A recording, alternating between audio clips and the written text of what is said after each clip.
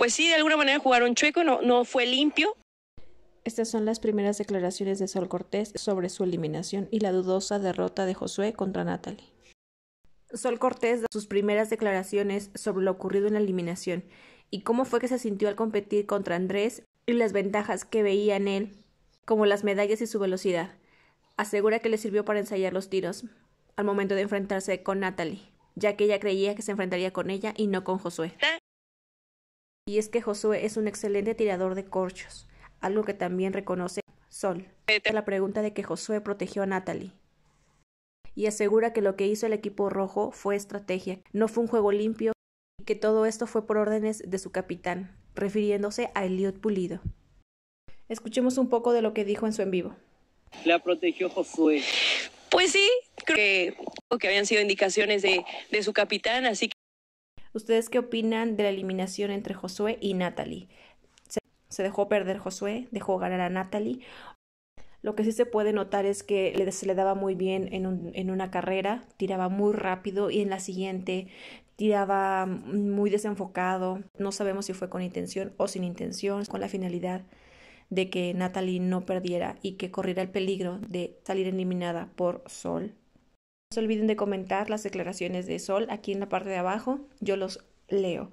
Por otro lado, le siguieron cuestionando y le hicieron una pregunta bastante directa de si le jugaron chueco. Su respuesta fue de nueva cuenta que no fue justo, no fue legal, pero reconoce que fue estratégico. No, si hablamos de un juego justo, pues no fue justo, no fue legal, ¿no? Jugaron chueco, no, no fue limpio. Y de nueva cuenta asegura que todos estuvieron de acuerdo no solamente recae la decisión en Josué, sino en todos, y específicamente en el youth. No se queda callada y asegura que sí, efectivamente fue estrategia, pero que no fue legal, es trampa. Sin embargo, que las reglas lo permiten. De otro modo, habría sanciones. No solo lo hizo en vivo, sino también lo hizo en la ceremonia de eliminación. A Natalie no le pareció su comentario, porque al momento de que Sol se despidiera, Natalie no se vio cómoda con esa despedida, con ese abrazo de Sol. ¿Ustedes qué piensan? ¿Le incomodó lo que dijo Cortés? ¿Porque sabe que es verdad? ¿O porque sabe que fue justa la eliminación entre Josué y ella?